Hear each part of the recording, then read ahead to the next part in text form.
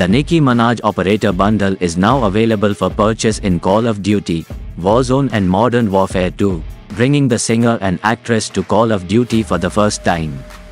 The bundle includes Minaj as a playable operator, as well as items themed around her and her favorite color, pink.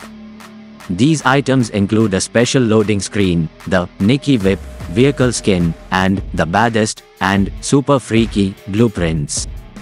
She has a tracer pack, too, which makes bullets look pink.